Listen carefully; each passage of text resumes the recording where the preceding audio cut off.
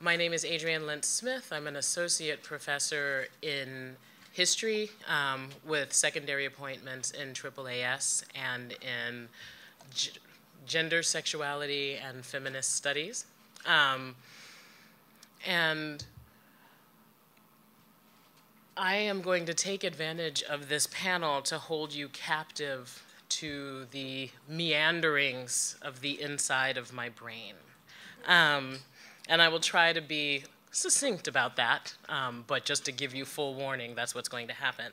Um, I proposed a talk called Global Histories of Local Violence.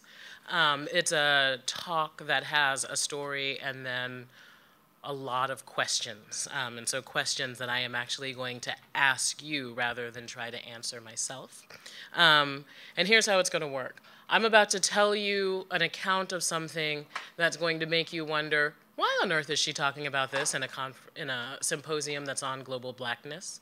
And then um, we'll try to figure out why on earth I'm talking about this in a, in a symposium that's about global blackness.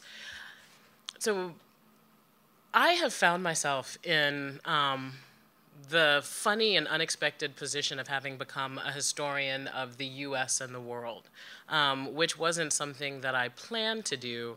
Um, part of me thinks that it's a product of having gone to the Society of Historians of for Historians of American Foreign Relations conference a couple of times and having people mistake me for Carol Anderson the other black woman who goes to the Society, Historians of American Foreign Relation um, conferences, and being okay with that. Carol's wonderful. Um, she's, um, you know, she's got a perm and my hair is locked, but okay, you know. She just won like the National Book Critics Circle Award for her book White Rage, so I'll just roll with it and take all of the accolades and the celebrations. Um, but I think also that um, there there is a logic um, to my having been in that space in the first place. My first book was on African Americans and the First World War, and part of what I was trying to think through in that book was um, about what it meant for everyday African Americans, not the W.E.B. Du Boises, not the people who'd made a career of imagining the world, but of people whose horizons had been deliberately and brutally limited by their quotidian experience to suddenly find themselves in the broad current of, of quite dramatic world events um, and their frames of understanding and their notions of community and kinship thus um, adjusted, challenged, and then adjusted. Um, so that's the background. But the project that I'm doing now actually jumps me ahead about, oh, 70 years, um, and takes me from thinking about people who traveled between the US South and the US North and between both of those places and Europe to thinking about a young man who spent his entire life not just in San Diego, but really in southeast San Diego, California. Um, on May 31st, afternoon of May 31st, 23-year-old African-American man named Sagon Penn um, was driving a truck full of folks, neighborhood kids, home from a community event when the police in San Diego, California pulled him over. Um, this was 1985. It's the height of Southern California paranoia about gangs. Um, it is a configuration of um, African, or I'm sorry, configuration of Southern California cops who look and sound much like the cops that we would see as key players in the Rodney, or not in, well, in the Rodney King riots, but um, also in um, sort of the LA, the O.J. Simpson case in the following, following decade. And these policemen pull um, Penn over, demand to see his driver's license when Penn questions what right they have to pull him over, why they need to see his driver's license. The police, um, as these stories often go, begin to beat him. An uh, eight-year-old girl playing in the in the playground of the church next to where this happened recounts seeing them kicking Ken, uh, Penn, um, shouting at him, and as she said in her testimony, saying over and over again, N I G G E R. She spelled it out, she didn't say it. Um, this story would have been like many other stories that we heard then and continue to hear now, except that Penn was a brown belt in Taekwondo. Um, and at some point in the middle of this encounter, he disarmed the two policemen, shooting both with the policeman's gun, wounding one, wounding a civilian who was in the car and a police ride along, um, and killing one of the policemen. Penn um, then fled the scene, turned himself in a couple of hours later. As you can imagine, the newspaper coverage of this event um, screams, especially in these first few days cop killer, cop killer, cop killer arrested, cop killer going to trial. Over the course of the trial, however, um, Penn's lawyer, who's himself uh, sort of sort of attention hound celebrity lawyer Milton Silverman in San Diego, Penn's lawyer begins to build an impressive case that the policeman who made the call to pull Penn over, Donovan Jacobs, is not just your run of the mill um, Southern California um, racist, but he's actually I train with paramilitary organizations in the desert in my weekends off kind of racist. Um, so racist, in fact, that the witnesses for the defense include a fellow police officer, now former fellow police officer, um, testifying about um, how J Jacobs was so racist that he was unfit um, for duty. It takes two trials, but Penn is acquitted. Um, two trials, two years. So he's in jail without bond or uh, without bail for two years, basically. In the end, he's acquitted. Um, he remains in San Diego and he shows up over and over again in newspaper accounts, in trial, um, in sort of court records for small run-ins in the police, for um, the kind of everyday tragedies that make the afterlives of state violence. So he's in, you know, family court for domestic violence things, for custody battles, until in 2002, um, when he's 40 years old, so 17 years after the initial encounter, he commits suicide saying, they're never going to leave me alone. Right? So, what you have here is a story of a swift moving outrage and a slow moving tragedy.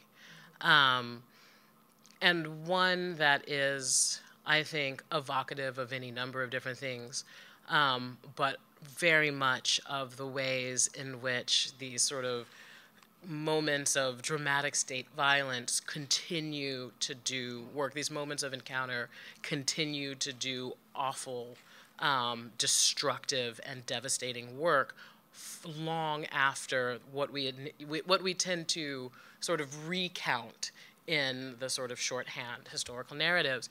And you also see the ways in which these sort of individual encounters radiate out through communities, do work in destructive work within families, beyond families, so forth and so on. And that's a story that I could tell within these frames, within a very sort of African American history, civil rights, um, and post civil rights framework, right? Um, but I think it's a story that, in order to fully understand what's going on and to really get its significance, needs something bigger, even as the meat of the story really takes place in this corner of this one city in the corner of the United States. And so the question becomes what makes this uh, um, a history of global blackness in some ways, right?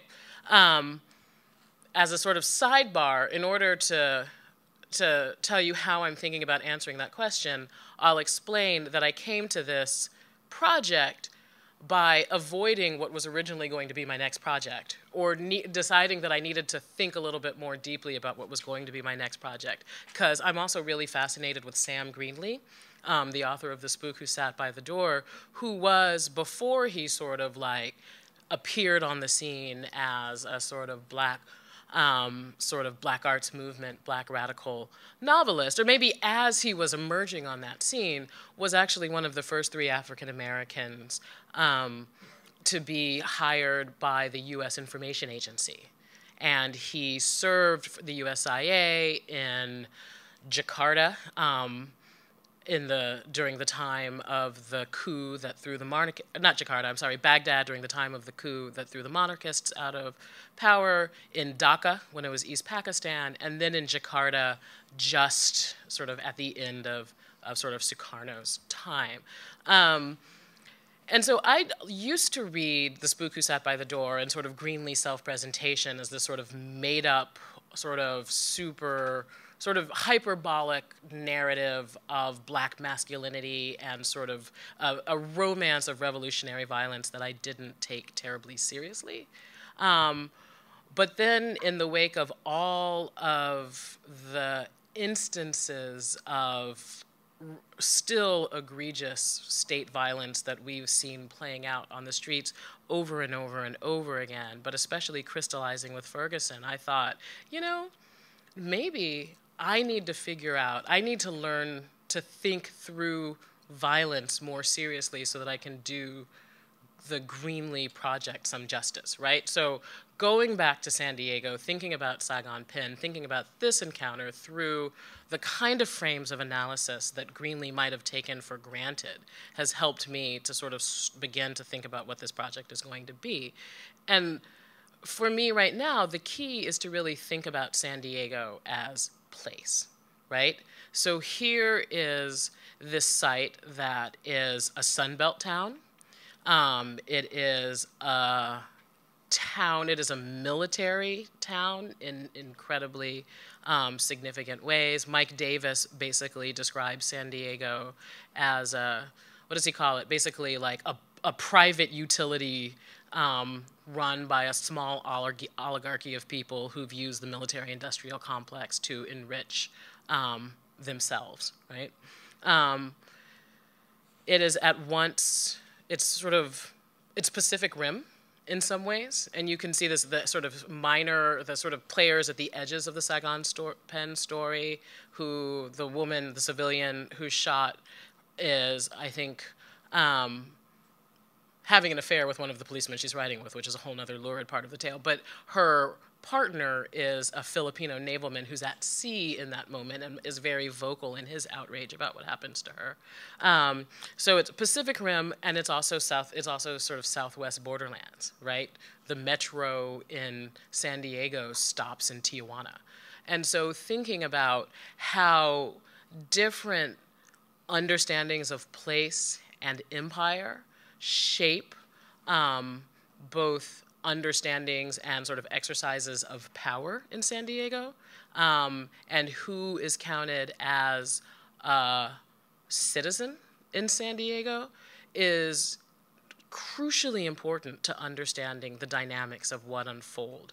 Um, it, within the Sagon Penn case, but then also in as much as the rest of Southern California reads what happened subsequently in Southern California through the lens of the Sagon Penn case, which I think is true, that the um, that the sort of as sort of events move up to LA, the police narratives about police being in danger and unprotected inform then how they respond to criminals in, in sort of LA areas. Right? All of these things, all of these dynamics that are happening within the Penn case then bleed into um, these other bigger narratives that we tend to know more about. So that's what I think. But I'm curious during the Q&A to hear what you think because I'm really in the early stages of this project and just trying to wrap my head around both the story and, well, my own head, which is really what writing is about anyway.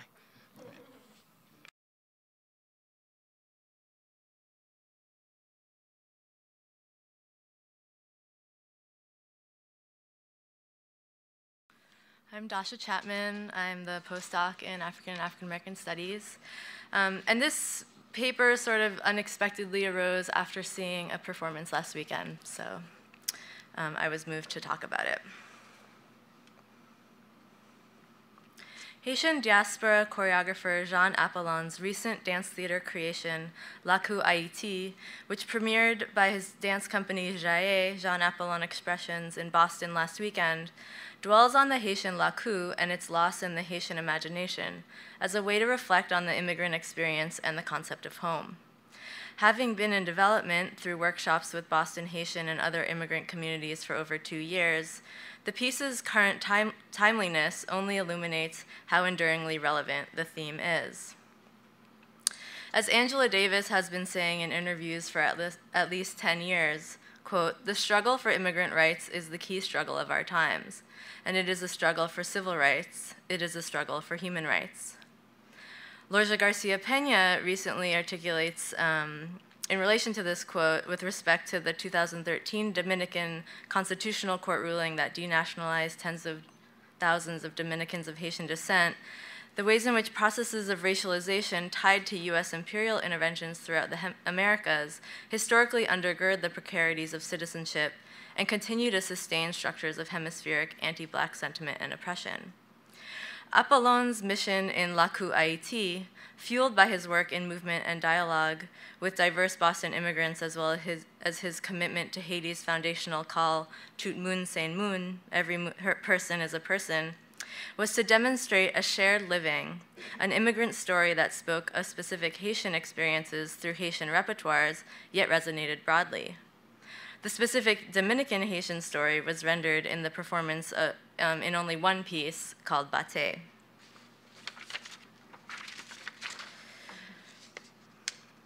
The word lakou, as the show's program notes tell, tell us, quote, carries many meanings. It is the backyard, the land passed down through generations, and the gathering place for shared meals, for dancing, singing, worship, or passionate debate. Lakou can also mean home, or the idea of home, the place that calls us back not just to sacred ground, but to a sense of belonging without which we are not whole. The Lakou is a Haitian form of social organization founded as a revolutionary counter-plantation modality of endurance and support. The Lakou emerged in revolutionary Saint-Domingue, colonial Haiti, as a ground-up, resistant response to the assault on social life constituted by enslavement. Grounded by a knowledge that no ground is one's own when one is deemed movable property, the Lakou signifies a radical claim to place, personhood, and kinship. Central to the lifeways of the Lakou is Vodou and its collective labors. In Appolon's Lakou Haiti, Vodou rhythms layer into washes of black sonic evocation, and sacredly inflected movements transform into urgent motion. Yanvalu's characteristic serpentine flow morphs into vigilant angles, cascades of gesture, dispersals and gatherings, and the partnered sharing of weight. Here, Yanvalu, Vodou's foundational corpus of rhythm, movement, and mythopoetic repertoire that encodes Damballa, the serpent spirit's ancestral wisdom and ability for continuous renewal, becomes effortful and full of intent. Yanvalu's smooth snake-like flow is punctuated by tilts, sharp action, and sweeps into suspension. The body shudders, then collapses, but promptly recovers. The torso repeatedly fans with concerted force. There is an urgency and velocity to the, this Yanvalu that critically mobilizes for our charged present. The vital soundscape for Lakou Haiti was created by Brooklyn-based Haitian sound artist Val Jeanty.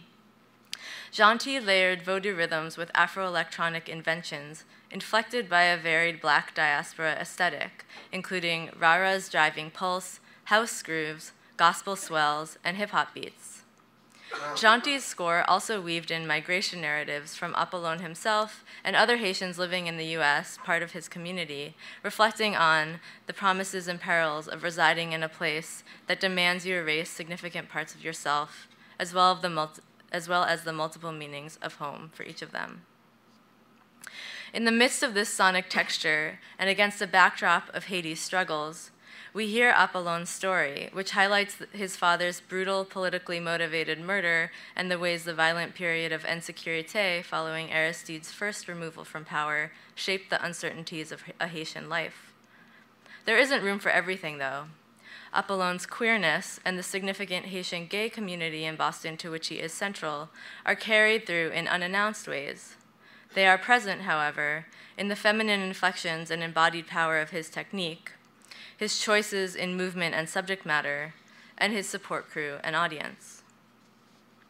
In my few moments here, I'd like to focus on Lakou Haiti's final gesture, which I believe points us elsewhere. The company's one Haitian dancer, Jean-Sébastien Duvillers, appears on stage with a brown paper bag. He bends down and begins to shake yellow cornmeal in a line bisecting the stage. As he crosses the top of the line, the other five dancers join him with their own brown bags. Each meets at a point along, a along this center line and draws an arcing spiral outwards. The imperfect, singular swirls speak of difference in collective. As an ensemble, they have drawn a veve for Aizan. Veve are ephemeral cornmeal drawings made on the ground that call down specific spirits in Vodou ceremony. As signatures of the Loa, the Vodou spirits, Veve perform a grounding reminiscent of flight, characteristic of Vodou's fugitive, clandestine modes. Political philosopher Neil Roberts' recent study, Freedom as Marronage, explores freedom as a form of perpetual flight practiced by Caribbean Maroons, specifically those in colonial Haiti who comprised the revolutionary armies. While Roberts argues, quote, movement is the central principle of marronage, he does not once mention dance. The Haitian Revolution, we could say, was catalyzed by a Vodou ceremony in which enslaved peoples danced for their spirits as fortifying resource to rise up, resist colonial domination, and risk everything for the right to have rights. To recognize that Haiti, the first black republic, is indebted to danced resistance is to acknowledge the central place collective movement plays in liberation, political imagination, and the cultivation of place. Roberts presents a concept of veve architectonics, or as he puts it, imagined blueprints of freedom. However, in Vodou practice, veve are created only to be then danced over by congregants. What if we take the Veve's ephemeral call for collective dancing as a fundamental component of its orientation toward freedom? And, heeding Appolon's vision, what if this Veve is not Papa Legba's or Ogou Dessalines, but Aizan? Resembling a palm frond, Aizan's Veve is linked to the palm on Haiti's flag, and it is interpreted as pronouncing liberty. Aizan presides over spiritual initiation, and is a patron saint of the Vodou temple, the Unfor. Her palms protect and purify new initiates as she oversees their rebirth. She also signifies unity. She is the mother bearing spiritual knowledge. Aizan signals care, reinvention, and the emergence of a new nation. The Veve's architectonics marks space as sacred and opens the way as a blueprint of freedom the Veve's ephemerality reminds us of its emergence under duress. It is a necessary action, a freedom practice that both signals and nurtures the creation of place and personhood. A personhood linked to ancestral and spiritual connections as well. Lakou Haiti's shared drawing of a new Veve, an Aizan that hasn't been imagined before, proposes possible respatializations of belonging in terms of the lakou. Through a lakou episteme, Appolon offers a mode of radical emplacement that recalls and refounds central principles of Haitian affiliation. This veve for Aizan, for Alaku Haiti, provides a reterritorialization. The dance space is sanctuary for Appolon. In the spaces he forges for dance, much like the provision grounds Sylvia Wynter describes, resistant fortifying cultural practices are cultivated and nurtured. Aizan's wisdom coalesces here with Appolon's physical confirmation of feminine power, an expansion and intensification of the chest and hips that imbues his technique and thus his dancers. In Lakou Haiti, Aizan's veve and the dancing that preceded it signal coalitional movement, movement that builds upon the recognition of global blackness and its spiritual and ancestral accompaniments as foundational to all our humanity, to rethinking not only configurations of migration and home, but their attendant formations of humanness and of blackness. Tout Moun Se Moun is aligned with the ways the nation's Declaration of Independence in, 1805, in 1804 reimagined the word neg, or black, as the term for person or citizen all Haitians were to be known by the generic domination of blacks, neg. This is including the Polish soldiers who abandoned Napoleon's forces and fought on the side of the Maroon armies. Blackness revisioned as a political identity claimed humanness and the right to have rights, the right to be free. This bold visionary move also certainly sentenced Haiti to be cast as Gina Ulysse terms the nation, the bête noire of the Americas. Yet Appolon's mobilization of the powerful feminine and his heralding of Aizan as the call for unity, the mother who oversees all initiation into this new lakou, reminds us that neg is still gendered masculine, and that while all Haitian citizens were neg, they were also only men. The revolution and its successes are continuously imagined through, as Roberts puts it, sovereign male founding father figures. The history could be written differently, perhaps as a veve. Caribbean thinkers and black feminists and practitioners have theorized black diasporic practice as having generative, imaginative, imaginative possibilities that, in their emergence from states of cramp, as Wilson Harris has put it, or from tight spaces to evoke, evoke Mackey and Moten. Um, that in their emergence, sorry, these embodied practices foster forms of corporeal kinetic consciousness that actually produce time, space, and subjectivity in emancipatory modes. What I'm suggesting here is an attention to the resistant collective modalities forged in the crucible of colonialism and revolution, like Vodou and the Lakou, um, and an attention to the ways that they still inform embodied practice in the continuously unfree conditions and insecure environments of our contemporary era. Lakou Haiti proposes a coming together in difference that requires a language developed collectively through Haitian spiritual technologies and the queer black feminist principles they evoke and invoke. The dancers did not dance over the veve at the end of the performance. We're left with this stark image, its imperfect swirls conjuring a multiplicity of unanticipated futures. What kind of ritual choreography is necessary to call down this spirit, Aizan of this lakou? Veve are typically drawn at the beginning of a ceremony. In this drawing, which comes at the end of performance, is itself a beginning and an opening. It's a call. Toward what? It seems Appolon is telling us we must come down and dance to find out. Thank you.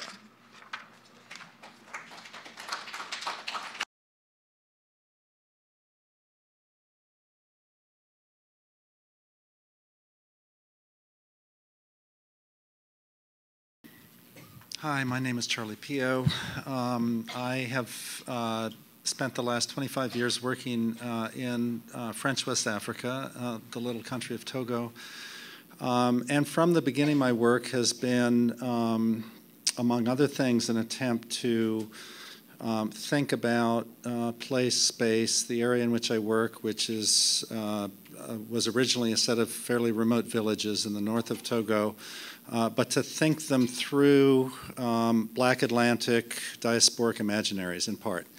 Um, and drawing on Gilroy's uh, uh, term of the Black Atlantic. Um, and so to think the way in which these remote villages um, were completely remade during the period of the Atlantic slave trade, um, then remade again through uh, the colonial, uh, uh, uh which was, of course, a raced um, uh, European project. um, and then through the post-colonial, and ways in which these larger sort of rubrics and contexts and frameworks have informed the local.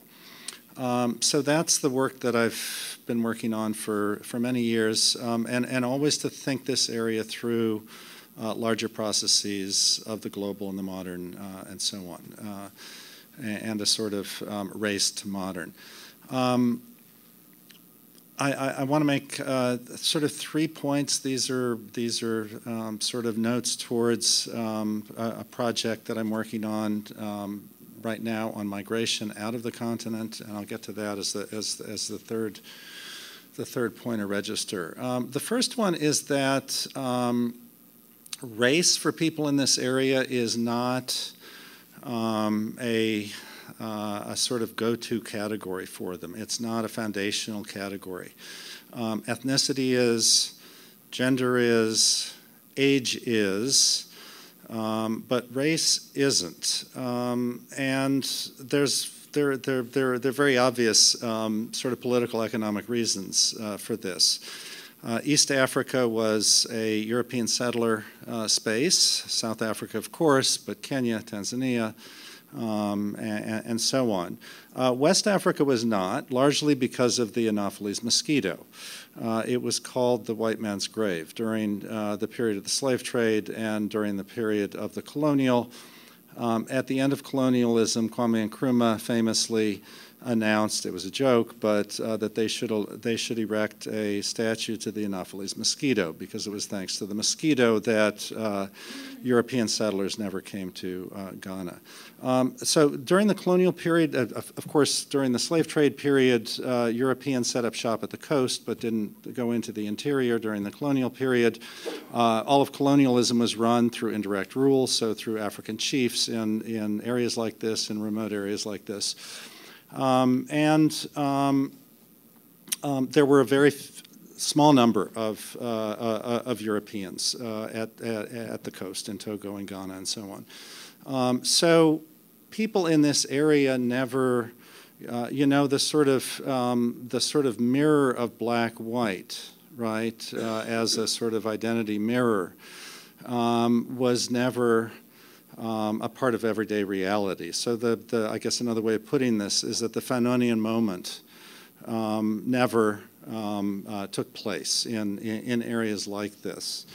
Um, and that largely persists into the present. Um, so that's my that's sort of my first uh, my, my, my first set of reflections. The second is to bring um, global, larger contexts, larger rubrics, global political economy into the, into the conversation. Um, and as soon as you think slave trade, uh, colonialism, and a whole range of different iterations of the post-colonial now, um, all of those epochs, all of those eras are of course raced within Euro-American uh, imaginaries. Um, it was only because of, of, of uh, deeply racist, white supremacist imaginaries that something like the slave trade could happen. Uh, ditto for the colonial, uh, and certainly uh, today into the post-colonial. Um, so um, the question then becomes um, how, uh, so, so, so through that there's a sort of binary logic, a, uh, a European African or European native binarism that is also raced as white, uh, black. Um, uh, at the same time, we need to recognize the ways in which these terms are overdetermined for people locally, that is, the ways in which they have multiple significations. Race is one of them, um, but the European is also uh, someone from far away, someone with means, someone with technology. Um, and uh, the color signifier, white, is also overdetermined. So Lebanese in Togo and Ghana are also called white, Chinese are also white, and so on. So these are uh, complex, uh, overdetermined, multiply signifying um, terms. Um, so there's that sort of, um, I would say, part of everyday imaginaries as well. There's the sort of the first register that, that I, I discussed. um, that it's not a foundational category for people, but at a, at a more abstract level, at a, at a larger level, it's a, it's a deeply determining category for people. I'm interested in the ways in which the sort of dialectical relationship between those two um, and how race uh, enters into everyday consciousness or not. Um, alongside of sort of um, these larger rubrics and the sort of everydayness of race today. Um, there's a there's the the, the sort of uh, sphere of the virtual or the televisual. Um, people in cities and capitals, of course, watch TV every night, uh, and there they tend to gravitate towards. It used to be MTV. Today it's telenovelas, uh, but there's a lot of uh, interesting race dynamics going on in those. Um, of course, hip hop. Uh, skin whitening is uh, all the rage in uh, all of the capitals. Uh, and although when I've talked to people about it, and a lot of the people I know, uh, a lot, women, it's not, it's, it's a deeply gendered practice. Um, they say we don't want to become white, we want to become métis. We want somewhere between uh, white and black. Um, but these, so these spheres are uh, sort of, I, I, would say, enlarging, and um, the sphere of the virtual is becoming part of uh, everyday identity for um, for people, and I think in, a, in an important sense. Okay, my third, um, my third sort of register um, is to segue to my current project, which is on um, migration. I would certainly agree with Angela Davis's comment. I think um, the immigrant is the figure of our time in many ways, um, and uh, even more so today in Trump's uh, America. Um, the migrant, of course, um, is a deeply raced figure. Um, uh, think only about uh, the black bodies in boats uh, crossing the Mediterranean. These images appear uh, repeatedly in our newspapers uh, in, in Europe and in the US. Um, and uh, they, of course, have an uncanny resemblance to uh, the, the images of the Middle Passage of uh, boats crossing the Atlantic. Um, Mbembe has referred to um, migrants as the laboring nomads uh, of today's world. Uh, and there are indeed massive sort of repeoplings or repopulations of the world going on as people are uh, moving between continents. Uh, uh, over 60 million people on the move today, globally. Um, several million uh, leaving uh, leaving West and Central Africa every year for Europe, uh, for the U.S., uh, and many more would leave uh, if they could. Achille also calls this the becoming black of the world. Um, and um, there was an editorial in the New York Times uh, a couple of years ago called The Africanization of Europe. Um, so there is a fundamental shift in, in population going on today um, uh, and, and uh, around the figure of the migrant, uh, uh, which um, I think is, is an always already raced um, figure. Um, let me bring a, a, little bit of political economy into this, and I, I, I very much appreciated uh, Pat's um, keynote yesterday because she um, uh, uh, privileges that and prioritizes that in a way that I, that I, think we have to do when we're talking about the global um, and um, it's, uh, I won't go on and on about the current moment, but of course it's a moment of finance capital. Uh, the society of the spectacle, the logic of the market uh, is uh, first and foremost, uh, um, and so on and so on. But today it is also fundamentally a moment of the security state. Uh, and uh, states that are, are, especially in places like the African continent, being enclaved and re-enclaved. Populations are being incarcerated within countries. Uh, it's very, very difficult to, to, to travel anymore, uh, certainly to get a visa. Uh, and all of the new technologies are brought into border control, uh, especially biometrics, which is, of course, um, turns citizens into number, uh, turns citizens into race and into biology. Um, and these are the technologies that are used to uh, uh, keep people from traveling. Um, entire areas of the world uh, are being enclaved through the use of these technologies and through the, all of the sort of infrastructural anxieties and paranoia that, that, that courses through the world system today, uh, making it harder and harder for uh, uh, people to travel. So, um, and uh, again, Pat's uh, talk yesterday, um, I, I, think he used the phrase sovereignty's neediness. Um, there's a way, and I, I, find that very apt for this material. Um, the, the, the, the, and, and Trump's America, indeed, uh, is a type of economic nationalism and racial nationalism, white, right, white sovereignty uh, nationalism, uh, that is becoming a sort of dominant um, uh, uh signifier and, and, and uh, I think rubric for, um, for, for biopolit biopolitics today. Um,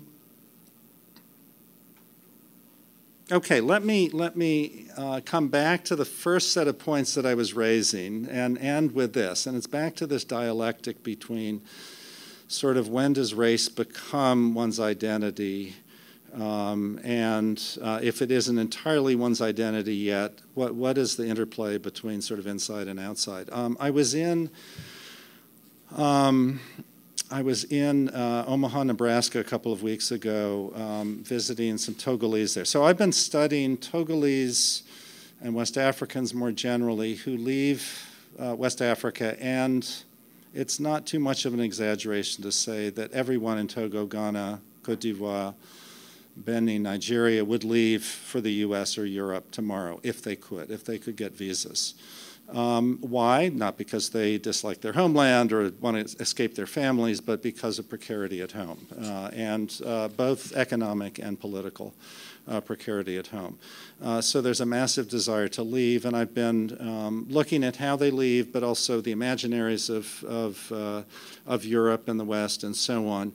Um, on the one hand. On the other hand, I've been making the rounds of uh, Togolese um, and West Africans in the U.S um, to see what their lives are like after they uh, come over. Uh, and they're often, they're, these are often quite sad stories. They, they, they make a living, they have a salary, uh, but they get stuck at very low levels in the economy, at minimum wage for years and years and years, especially if they're Togolese, they don't have uh, English language, their degrees aren't recognized. Um, it's very difficult for them to jump. They work two and three jobs. Uh, and eventually they go back home for a visit after they get their U.S. passport. Uh, uh, six, seven, eight years later. Um, and I've seen many of them back there, and um, they're the happiest people alive. They perform success, even though they don't live success here. Um, and the day they leave, I've seen several of them uh, with tears in their eyes, not wanting to go back. But of course, they have to. And their families would re refuse to take them back in there. They're supposed to be sending money back, they're supposed to be supporting people, and so on. Um, so I've been looking at the migrant on both sides, the migrant imaginaries, let's call it, on both sides. Um, and I was in Omaha, um, Nebraska, a couple of weeks ago, uh, which Togolese call Togoville. Um, there are many, many Togolese in Omaha. I won't go into reasons why. It's a very odd place, uh, interesting place um, in the Midwest. Um, and uh, one of the questions I was asking people was um, so do you experience yourself, do, A, do you experience racism? And B, do you see yourself as, as raced fundamentally um, here? Um, and there were long, long pa pauses uh, when people answered.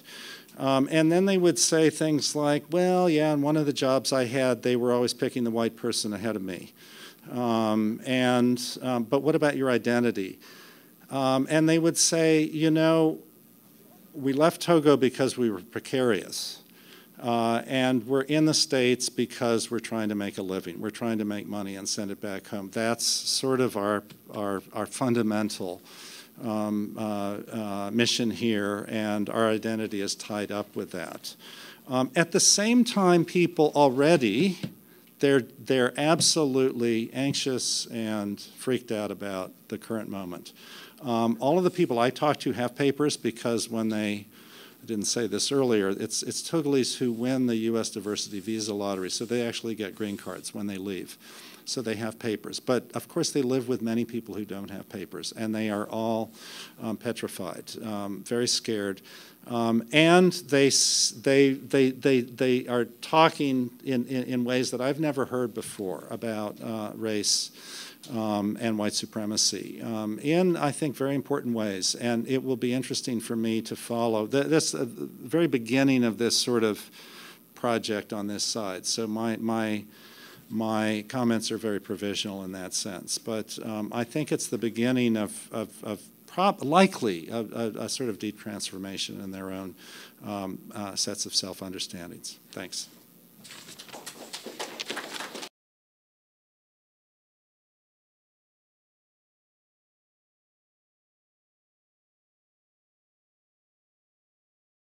My name is John French, and I'm a, uh, a professor of history with a secondary in um, a secondary in African and African American studies, and I also have been very involved for the last five years in uh, a variety of initiatives related to Brazil. And we have 17 Brazilians here, including eight students and a variety of professors and staff that are here for eight days, and a conference coming up on Monday about uh, about the access that's been won in the last 15 years of uh, racially and economically marginalized youth gaining access to higher education on a scale that hasn't occurred before, associated with the left of center government. Uh, and we have here Alvaro um, uh, Pereira de Nascimento, who's a major historian of uh, labor history in Brazil, but particularly has written two very well-regarded books on the revolt of the whip in 1910 when sailors, blacks, black and mulatto sailors seized the uh, brand new vessels that arrived from England and threatened the, uh, to bombard Rio de Janeiro if they didn't abolish the use of the whip. It's a very famous revolt. There's a number of things in English about it. Uh, and Alexandre Fortes was also here. He's an historian um, who's part of this project. Uh, in any case, I was, um, you know, we were asked to, is, uh, to reflect on um, Micheline's um, proposal about global blackness, and that's what I did in this paper using a particular uh, Brazilian black activist thinker, uh, Denise Ferreira da Silva. So I want to quickly just um, let me make sure I stay within my 10 minutes. Um, let me just start off by saying a little bit about uh, my, my work is fundamentally for 38, 38 years I've been working on Brazil. I work in particular on working class and popular classes, struggles, politics, trade unions, um, and so on and so forth. I'm finishing a biography. I just finished the uh, first volume of biography of Lula, Brazil's um, working class president who, um, the fourth grade education, who won the last four presidential elections in Brazil. Uh, and uh, I also have developed over the 25 years I've been at Duke, I've developed a, you know, a long history and training that's produced many people that have gone, Af young African American students that have gone on to become Brazilianists and, and uh, and so on, as well as a two-semester graduate sequence. So if there's any graduate students here, graduate sequence on Afro-Brazilian history and culture, and we'll be teaching modern 20th century Afro-Brazilian history and uh, culture this coming fall. Um, so what I want to talk about is, you know, there's been a, Brazil has been a, really the central part, actually the central dialogue since the 1930s with the U.S. in terms of trying to understand the nature of the different trajectories of race in Latin America versus race, race versus, and it was always thought of that way in the U.S., uh, which for a long time was very much a, you know, mostly a U.S. monologue. Uh, and usually the voices, the only voices that were heard from the Latin American side would tend to be people who were, um, you know, privileged, usually non-subaltern, usually white, like Gilberto Freyre, who made a major impact in the 30s and 40s, uh, and so on. What began to happen in the 90s, um, Afro-North Americans have always been interested in Brazil, has always been useful as a weapon against segregation here and a, as a way of thinking as well about what does it mean when more color, when Africa survives in more visible and organized ways in terms of dance, religion, and so on. Uh, and one of the things that's been interesting in the 90s, the, there was a sort of a low point in the, in the 80s, but then in the 90s, really as part of the push towards globalization, internationalization, and so on, including in the field of black studies, there was a, much, a sort of a, an embark on a sort of a diasporic, a trying to see beyond. It's also when Gilroy's book came out, uh, and so on and so forth. Uh, the new black movements that emerged in the um, uh, after 1978, uh, which are important, have generated and included an, you know a variety of people and a variety of perspectives and debates and things which had tended to be marginal. Uh, I would say that's not as true by the late 90s and into the 2000s. Um, and Denise Ferreira, who's a black activist who for, got a PhD in sociology at the University of Pittsburgh, um, is a particularly important and interesting one. She has been a guest here many years ago, so you might have actually met her at some point. Uh, in any case, um, she started. She has a very. Um, she talks about herself as sort of a wayward social scientist, and she has a kind of a cultural studies approach, which is not my uh, my kettle of fish. On the other hand, I'm very open-minded, and there's a, I really want to talk a little bit about the logic of the position that she builds, which seems to me to run parallel with some of the points that's that's been made by uh, Micheline here.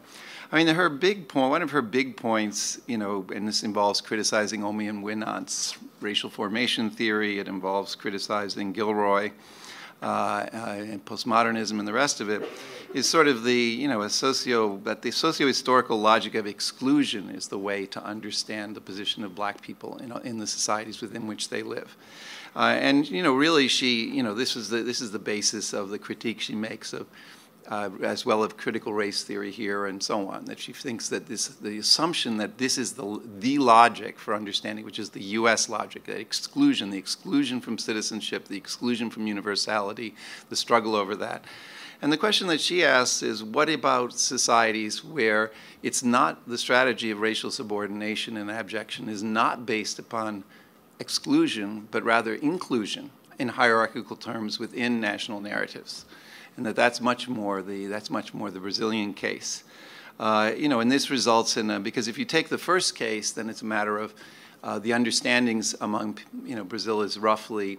In terms of the census, it's roughly 51% preto or pardo, which would be people that we would tend to want to put into one single category as black. Um, probably from U.S. point of view, many more people in Brazil are black than 50 percent uh, and so on and so forth. But if you think about it as exclusion, then you end up with uh, you end up with this notion that their understandings that they have involve some sort of capitulation to a dominant ideology of racial democracy, a set of lies that made you know Brazilian racial inequality, because Brazil is actually racially much more unequal than the U.S. and yet characterized by less racial conflict, less explicit, less conflict related to race in terms of explicitly formulated in those terms. Um, so she goes on to the way what she says she's interested in you know, using the Brazilian case, trying to think about the Brazilian conceptualization, she talks about trying to conceive of and understand a non-Du Boisian black consciousness, one not defended by a not defined by a quest for transparency and an end to exclusion. And as she says, what if racial subjection can operate, uh, as in Brazil, based on a not purely exclusionary principle?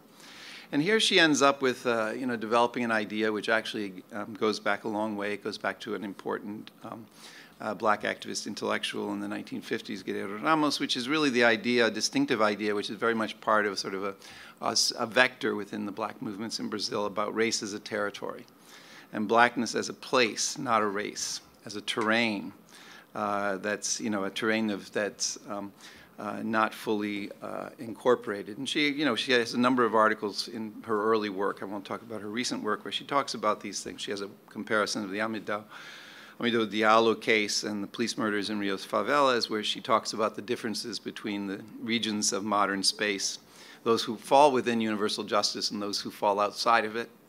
Uh, you know, and then thus she sort of suggests, she suggests that the clash over race uh, can be seen at a more abstract level, taking into account national realities, less as a conflict between whites and blacks per se, and more as a con uh, contrast between spaces coded white and those coded black. For example, the Baixada, where our students are coming from, which is about 3 million people, is you know 70% Pardo and Preto. Uh, on the other hand, there's also th there's also a lot of people there and a lot of African descended people there that are white in appearance and things like that. The stigma, the difficulties, the enormous violence, the um, you know the the very hostile conditions and, the, and neglect to which uh, the whole region is subjected, sort of makes the region, the Baixada, sort of a, exactly that idea of a black a black space, a black territory uh, in that sense. Uh, and she, you know, she goes on from there, and I'll let me just see how I'm doing. I've got three minutes um, to talk a little bit about the, um, you know, the, the, you know, she's really talking about the idea that there's sort of the domain of illegality and zones of violence, which would be the Baixada, favelas, and so on you know, which to us often look like fairly straightforward black spaces and white spaces in terms of race, understood as race, uh, what we, the, our understands, uh, understanding of that. Uh, you know, but she, the point she wants to make is that she thinks that this, the race category of police violence, for example, she said, is made perverse and elusive because the poor is a category that combines the effect of class and race subjective therefore binding both of them in social collectivities that include black mestizo and black and white Brazilians. Uh, and this is the way um, she wants us to think about it. So she says, you know, and then she has this observation that many North Americans comment, and it is a very, uh, you know, a, a very common comment about the silencing of race under the racial underclass in Brazil. And she says, yes, but what about the equally problematic and parallel silencing of class under race in the U.S., which is sort of Higginbotham's meta, her theory about the, uh, you know, meta language of class by which we express things that are really about socioeconomic and structural inequalities that are not about race, but here we discuss them through race in the same way that in Brazil they discuss questions of race, which is why you get this confusion between the poor and black people. People use the terms interchangeably and they mean the same thing, except that you say, but yeah, but that's ambiguous. What do you mean? You can, you're just, same two sentences, you say the poor are, are, are, mistreated by the police, and the next sentence you say the blacks are mistreated by the police, and you mean the same thing. Why aren't you systematizing your labels as opposed to this idea of and then from there, she also goes, you know, she cites various examples from the formulations of black activist movements, uh, you know, about how they choose to formulate um, po their political line and things like that, which is often uh, in ways that seem a little bit surprising to us. One of the major initiatives for, the fight for expanding access to higher education as well as the victories that Brazil has experienced in terms of racial quotas, um, racial and as well as quotas that you could argue are class quotas, you know, is Frei David of Educafro, who's a liberation theology priest who started out in the 1970s working in the Baixada where we are and still linked to the Baixada. But he, what he did when he was to create a, a, a, program for training people to take the entrance exam to colleges, but he doesn't call it a black program. He calls it a, a needy and black people's pre-vestibular program because it actually makes uh, that, that breadth of openness was important in terms of this notion of because some black movements had taken the argument that the way to solve the problem is if we could force everybody to say they're black then we would have the problem solved except that when you get all the subjectivities involved with what does it mean what does blackness mean all the varieties all the questions of appearances and the differences in, within families and you know and the advantages that accrue you know the work of elizabeth Hordge-Freeman is quite moving in terms of that.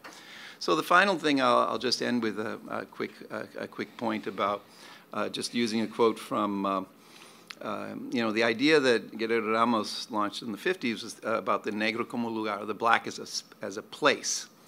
You know, and in a black intellectual, a really famous um, black activist intellectual, Joel Rufino dos Santos, who just recently died, he formulated it in the 90s in the following way he said, um, he's talking about that and trying to how to define it. He says, the black in Brazil should be seen as a social configuration, a place that can be occupied even by non-blacks, just like the place of whites can be occupied by a preto or a mulatto. The police force, by the way, which is enormously violent in Brazil, is heavily black and mulatto, especially at the lowest levels and things like that. He says, how to define this place, if black as a place, how to define it. He said the coordinates to fix the black as a place would be phenotype, in other words, your appearance, mostly crioulo, which is a term used for black, social condition, poor, cultural patrimony, popular, historical origin, African ancestors, and identity, whether self-definition or identification by others. He says the weakest coordinate of all of these about what is the black as a place is the phenotype, since he says the majority of our population tends towards the dark. Uh, the Brazilian is, and this is sort of the final gesture, very characteristic of black movements and black discourse in general, that the Brazilian is, as one can deduce, the best synonym for black. And white is the synonym for non-Brazilians.